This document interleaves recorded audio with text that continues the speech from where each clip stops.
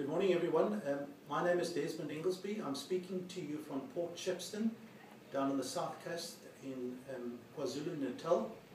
And this morning, I'd like to introduce you to somebody who um, is going to tell her story uh, about her conversion. Uh, it's always very, uh, wonderful and encouraging for us to hear the story of how God brings us uh, to conversion and of the power of the gospel. And so I'm going to um, ask uh, Bongole to uh, a couple of questions about her life, and then she's um, going to tell us how she came to know Christ. Um, good morning, Bongoluzi. Um, just to say to you, can you tell us something about your your uh, work experience and what you trained to do? Good morning, Des. Bongoletu Pomela. I'm a, a lawyer. I now work in Kokstad. I studied in the University of Transkei in the Eastern Cape. Can you tell me something about your training? What, what was required of you to become a lawyer? I did my BProc degree for four years, and then after that I did two years LLB. It was a senior degree then, and I went to the law school for six months in East London. After that, I went for articles in Legal Aid Board in Umtata. I did it, the articles for two years. I wrote my board exams and I passed them, and I was got I got admitted in 2007 July Right. as an attorney. That sounds very encouraging. But uh, something changed in your life. Uh, you became a lawyer, but you, you, you, you also became a sangoma. And we hear a lot about sangomas in South Africa, and people around the world often ask questions about it. Can you tell me what does it mean to be a sangoma? Yes, there's um. Whilst I was practicing as an attorney in Kimberley, I in legal aid board, I had this calling of Isangoma to be an Isangoma. I had to resign and went back home to the Eastern Cape in Idutywa. Um, to be an Isangoma, I had to perform some rituals. I had to use muti. I uh, had to, to speak to the ancestors. The ancestors are the dead. Um, so I did all of that. And uh, how did I become Isangoma? I had these dreams uh, before I became Isangoma. I had these dreams. They were so uh, strange dreams. I would uh, dream like I'm in a river. I'm performing rituals. I'm wearing beads, white beads, uh, uh, goats and stuff, things like that, Yes. the things of Izangomas. So I had to know what was going on in my life. These dreams kept on coming back to me now and then, in fact, almost every day. So I couldn't live like that. I did, in fact, then I wasn't attending church. Yes. I think that's when Satan got his way into my life. That's when I got these dreams.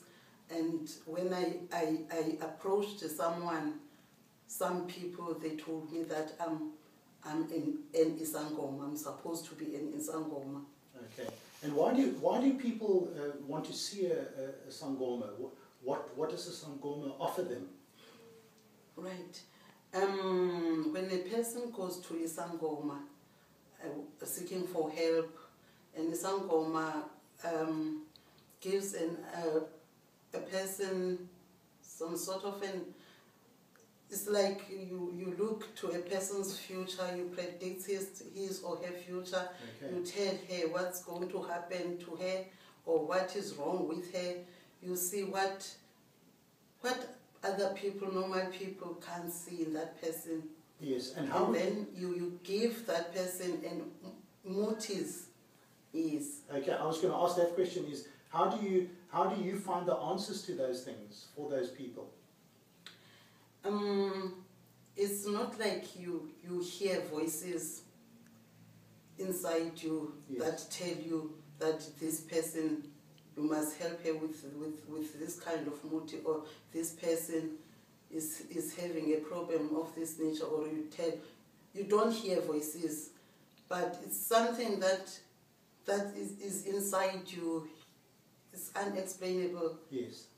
Now, I understand that now you, you're no longer doing that, um, and that's why we're meeting here this morning and talking because something has changed in your life and you're no longer a Sangoma. What, what made you come out of it? Yes, thank you, Des. Um, sometime, um, I think it was 2011, I was an initiator, I was an Isangoma, still practicing as an Isangoma. Um, my sister Lali and I, we were living in Kokstad, we moved to, to, to, to, to, to, here, to Port Shepstone. She bought a house here and then I wanted to go to church. I wanted, there was this feeling that even though I am in Sangoma, but I, there's this strong feeling that I, I want to go to church.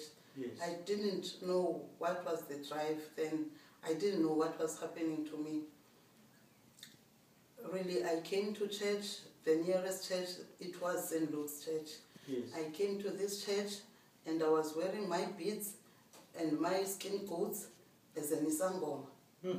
I attended the church and um, I listened to the word of God and um, I think it, it, made me realize that I, I, I need more. There's something missing in my life yes. inside me. There's something missing in my life.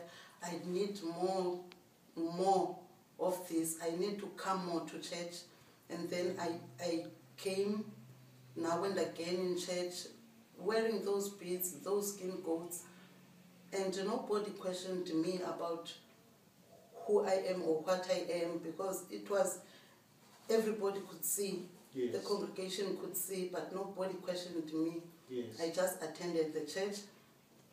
And then, uh, as the Reverend went on to, to, to, to, to visit his members, the members of the church in their homes, he visited, made an appointment with me. He Yes. visited me. Sometime last year, used to come to my place with his wife. And uh, I used to defend my, my, my, my, my being Sangoma. yes. If we talk with Eric about this, in fact, he will ask me how I feel about this, how, I mean, how, uh, how does it, it, it, it, it, go a church and, uh, and to be Sangoma, and uh, I would try to defend my, my, my, my being Sangoma Yes. to him. And then he would read me scriptures, we would pray together, we would talk about this. And one day he came to my house, made, made an appointment with me, came to my house, and that day I told myself that I'm going to dodge Eric. I don't want, I don't, I, I, today I'm not just in the mood of this. I'm going to dodge. And he didn't call me to confirm that he is coming. He just came. Yes. I think God talked with him not to call him, to call me. Yes. And it was on that day, we talked as usual. It was on that day, the 24th of August, Yes. 2012. Um, we prayed as always. Um, the prayer that day, it was like different from other prayers. It was uh, some sort of a confession prayer. He put a, a hand on my forehead, on my head like this, and then he prayed. I had to, to say the words after him. Yes. And then I don't know, in the middle of the prayer, what happened to me. Something touched my soul. Something happened inside me. I don't know what was it. I never had that feeling before. Oh. It was the first time. Mm. I I broke out and cried. He prayed, he prayed. They all prayed in the house. It was my sister Tracy, his wife, Eric, and me. He prayed and prayed and prayed, and then after that, mm, I was okay. I, I felt like something has been lifted on my shoulder. I felt so, so, so. There was something like that that was taken off. I don't know. I never had that feeling before. And um, I felt free. I felt peace inside me. I I felt like I'm I'm I'm another person. Before before that, I was uh, I was like practicing as in Sangoma. I was always in fear, not doing this, do that. You are in Sangoma, and uh, I was not at peace at all with myself. But I had to do it anyway because I heard that if I don't do it, because the ancestors, they've called me to do this, if I don't practice as, as an Isangoma, uh, I'm gonna get crazy or get sick or this and that. I'll have an accident or my family will be cursed or this and that. Yes. That was what I knew. Okay. Can I ask you a question then? As far as you, you used um, the word peace and, and being free, what do you believe happened to you? What, what set you free or who set you free? What peace do you have that you're speaking about? Um, how would you describe the change in your life? I accepted Jesus Christ as my Savior, as the one who's, who, who's gonna who's gonna forgive my sins, Yes. as He died for me. I accepted that, I acknowledged that, and then that's when He helped me. He saw that I was in trouble because I wanted to serve God. I wanted to be in God Yes. and I am in trouble. Then I needed help, and He was there for me. Jesus Christ saved me. Wonderful. That's the great news. And that's what I wanted to end with today, is to say that what uh, Bongoletu has said is true of all of us. We are all in trouble of one sort or another. The problem is the problem of sin, and the problem is that uh, of sin leads us into darkness. Now for Bongoletu, there was a particular set of circumstances that she faced in her life.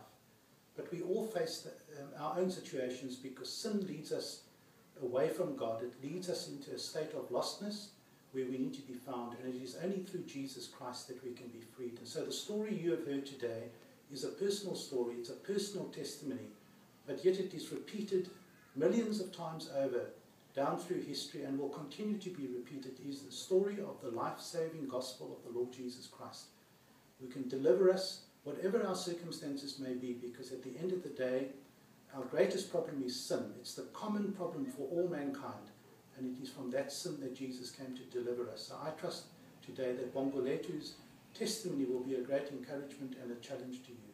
Bongoletu, thank you so much, and may God bless you. We are delighted to have you here at St. Luke's, and we are thrilled to hear what God has done in your life.